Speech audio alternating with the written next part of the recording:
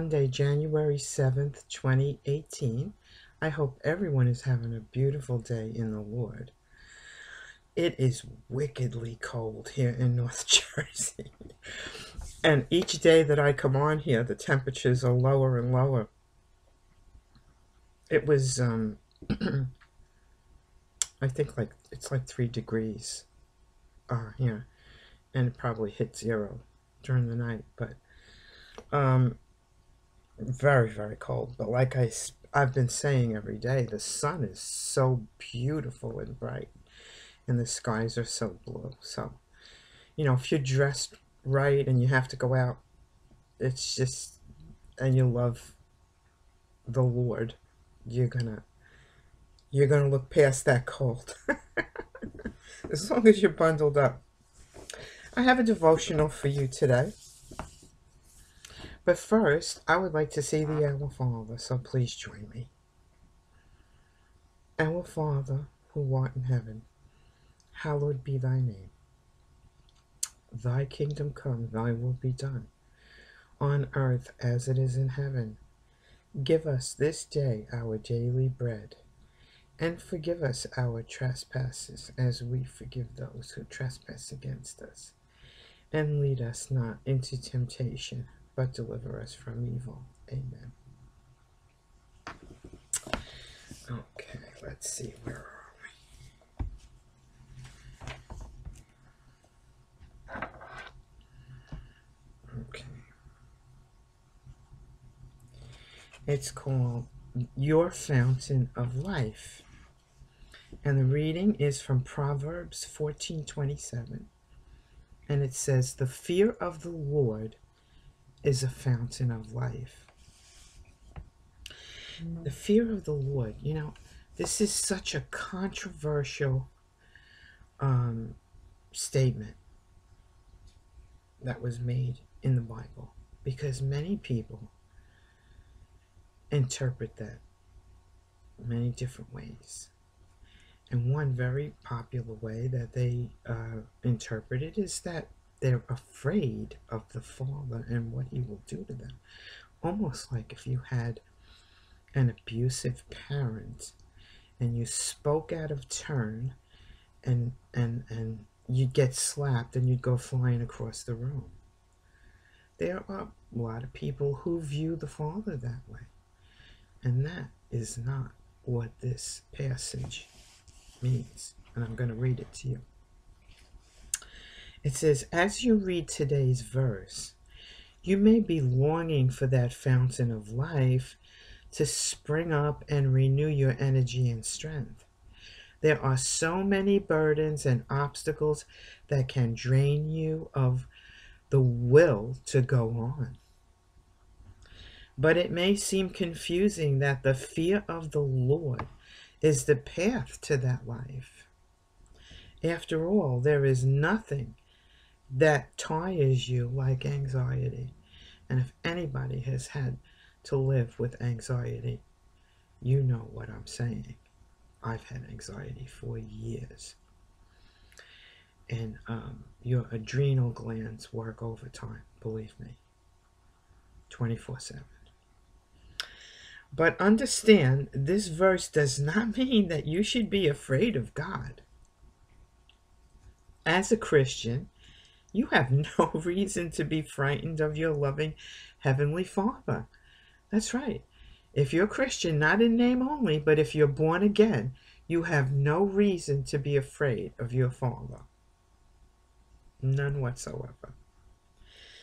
Uh, rather, the original Hebrew word for fear means that you should be reverent in the Lord's presence and respectful of his ways. That's what it means. Just like, you know, when you're growing up, if you had respect for your father and you had a decent father who wasn't abusive and uh, you didn't do what you were instructed to do, um, you know, your father would uh, take something away from you, chastise you as a form of discipline. And our Heavenly Father is the same way. But He won't he's not he's not to be afraid listen the discipline comes from love not from control when people um, have little children here, a lot of times they're dysfunctional and they use that uh, authority over their children to exercise uh, control and power. And that's what you call abuse. It's not, the father's not like that. God's awesome character should inspire you to take all he says very seriously.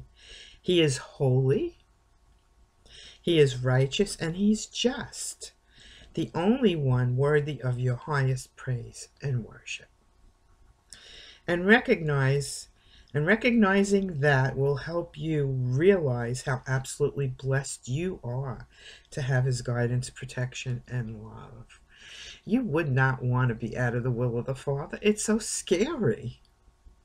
It's so scary to walk on this planet without the um, the protection, the love, and the eyes of the Lord upon you, watching every breath you take and every footstep you take.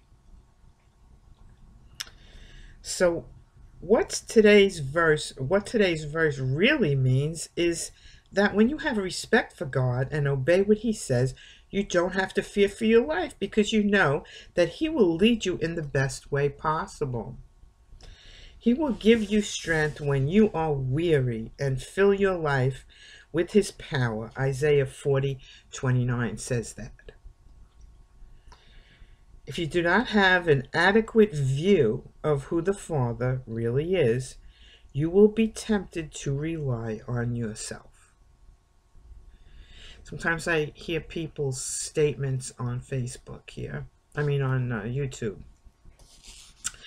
And they're shaking in their boots for fear of the Father. That's not, that's not, it's an improper fear. Only if you're not born again and only if you're out of the will of the Father, you're going to displease Him. And, um, you know, He'll discipline you, but never give you more than you can bear. He's not going to do, he's, he's not a dictator. He gave you free will. And if you saved, you're sealed. Um,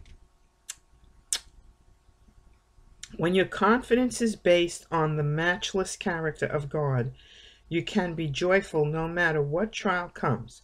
So trust Him and experience the fountain of life he created you to enjoy. And a prayer we can say is, Father, you alone are God and worthy of my praise.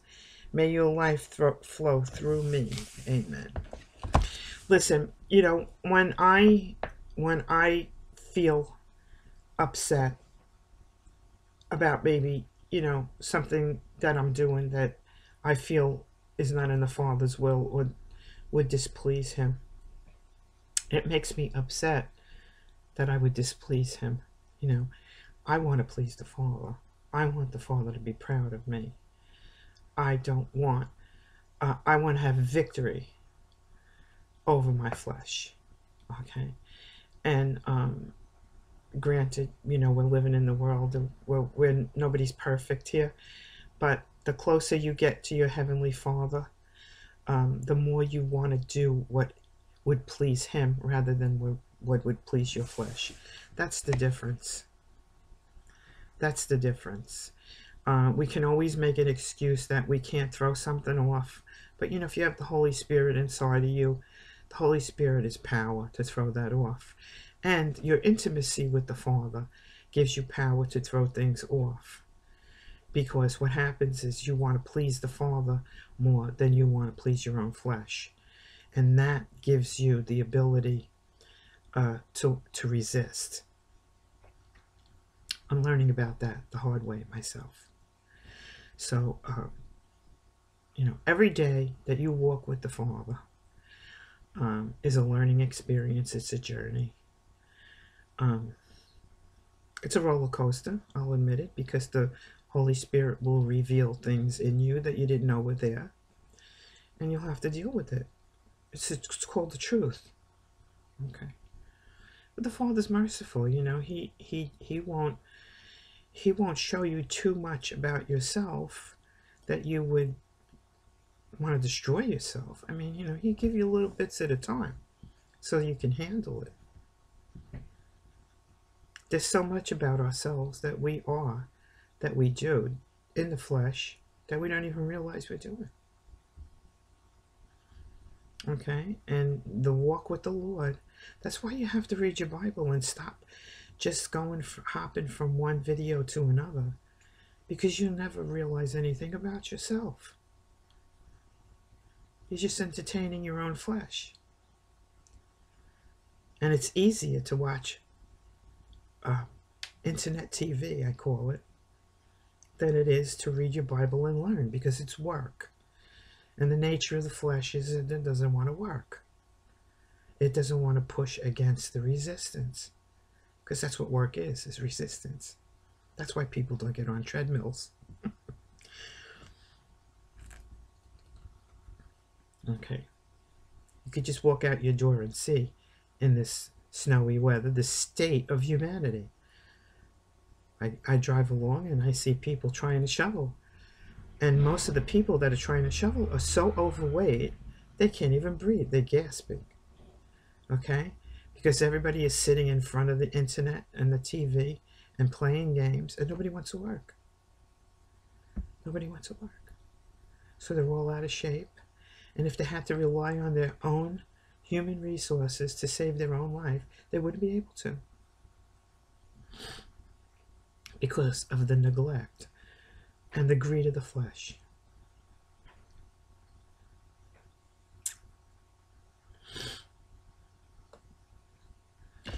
Listen, I tell you, you know, I'm not a popular person. I have never been popular.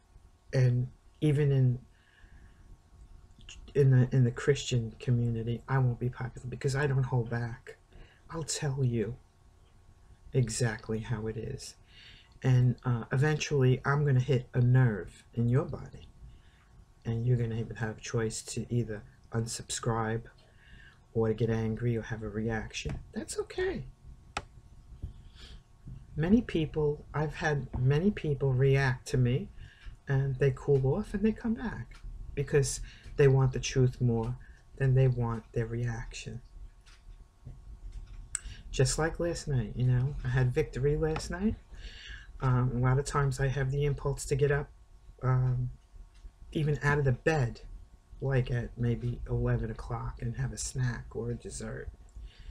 And then uh, last night I said, no, I love my father more than I love that dessert. And that impulse left me, and that was a victory. And that's the first time I actually spoke that out loud to Satan, and he fled. And um, I slept on an empty stomach, which was very good.